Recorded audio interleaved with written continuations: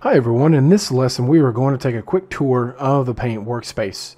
In order to keep it brief, we're going to move pretty fast and won't have time to stop and feed the animals as it were. But you should come away knowing where all the major components are in the workspace and how to get started.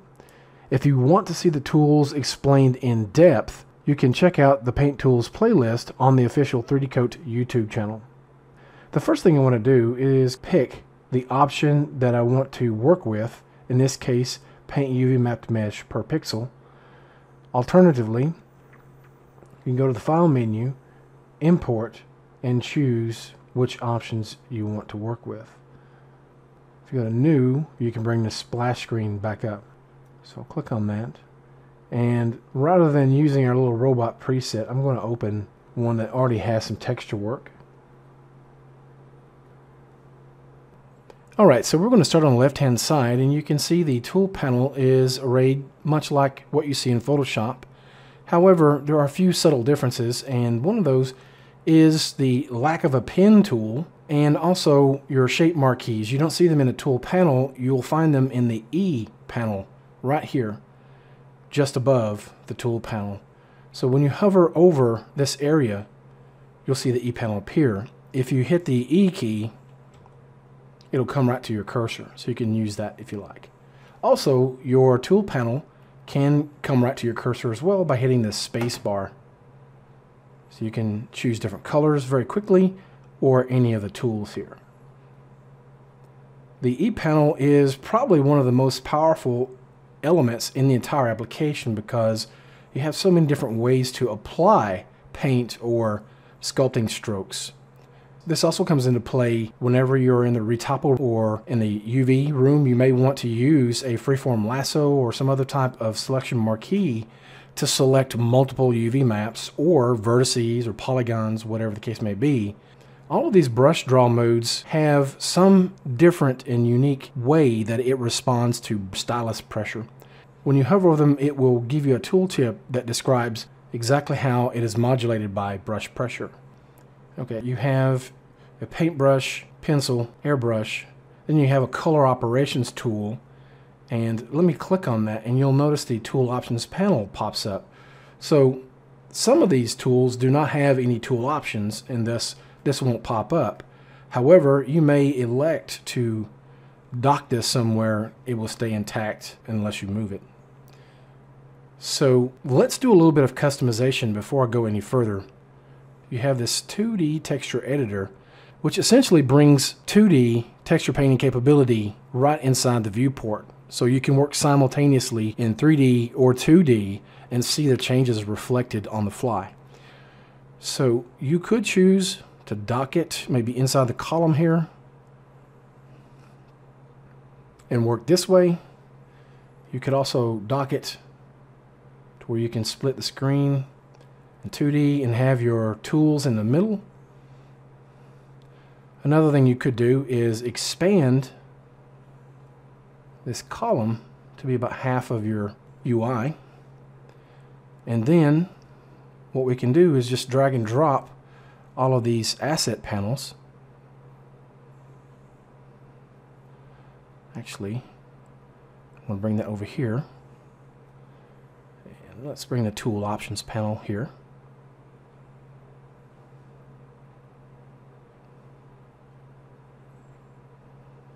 Brush options are just like brush dynamics inside Photoshop.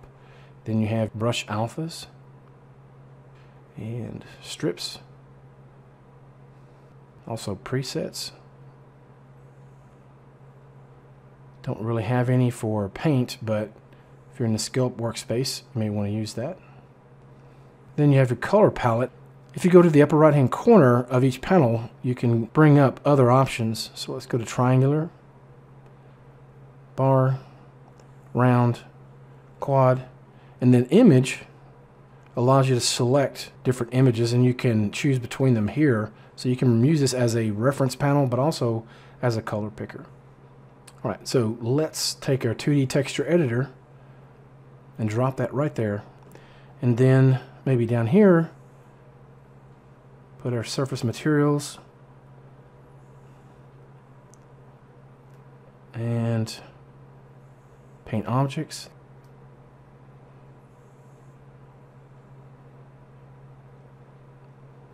Now the Voxtree layer panel basically is just a hierarchy panel so that you can access objects that are in the sculpt workspace.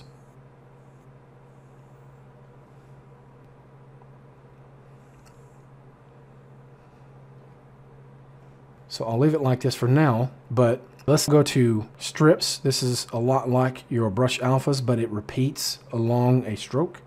And then stencils is essentially, as the name implies, it's just a mask overlay. You'll have a preview options panel here. You can scale it. You also happen to have a 2D gizmo that you can work with here if you don't want to constantly reach up here.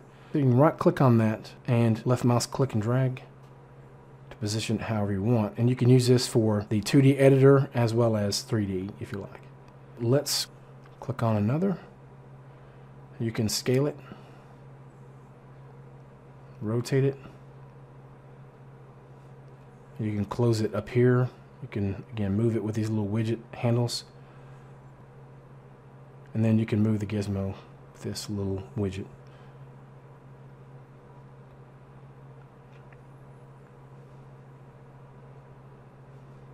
You can also tile it to where it's just one single instance.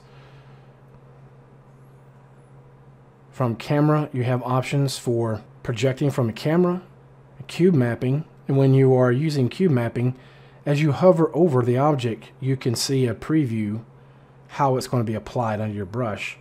But also, when you scale or make any kind of transform, you'll see a preview. Same thing goes for the options here in the preview options panel. So you got a couple different options for uh, stencil. You can invert it if you like. You can also distort it and then clear the distortion later on if you want. You can even paint over the overlay. You can reset the scale, flip it along the Y or the X axis. The color corrections allow you to adjust your stencil and then you can close it when you're done. This is very similar to how smart materials work. Again, if I want to use something like this brass smart material, I'll have very similar options here. And then I can bring up the smart material editor by clicking on that.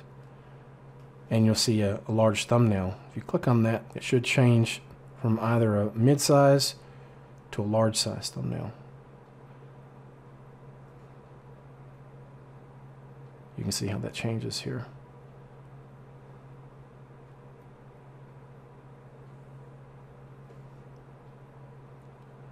click cancel. And then all of your channels are exposed here to where you can apply different maps into these individual channels. And once again, conditions exist here. So this is a very important part. This indicates where it's going to be applied on the surface.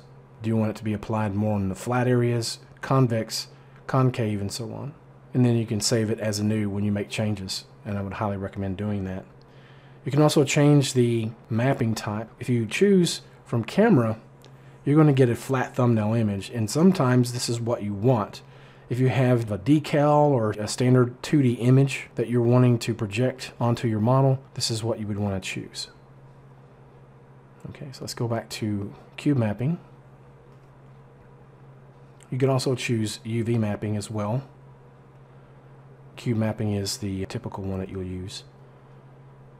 And you can name your layers here. You have options for hiding the individual channels on the layer so that it's not taking up unnecessary amount of space. So when you hover in this area, that toggle will appear. And you can move your layers up and down. You can add a new layer. You can collapse ones that you don't necessarily need to see.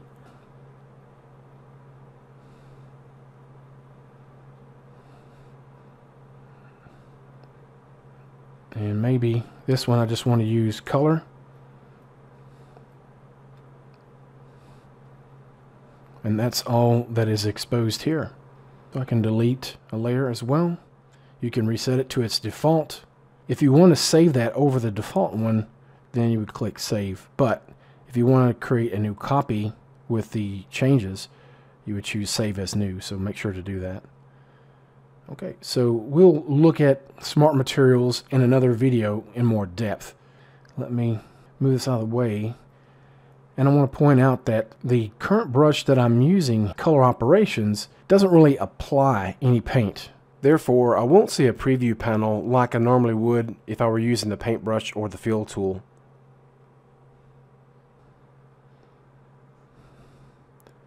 Now we have a preview window and we can scale it. It's important to note that the preview window only displays the channels that are enabled. For example, if the color channel is all that's enabled, then that's all you're going to see visible in the preview window. I'm now going to click the create new layer icon.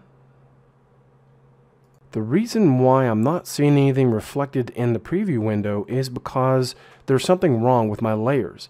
In this case, I have the newly created one beneath the camo layer. So I need to go to the right hand side, click, hold, and drag on the move icon, and drag it above the camo layer. Now you can see it.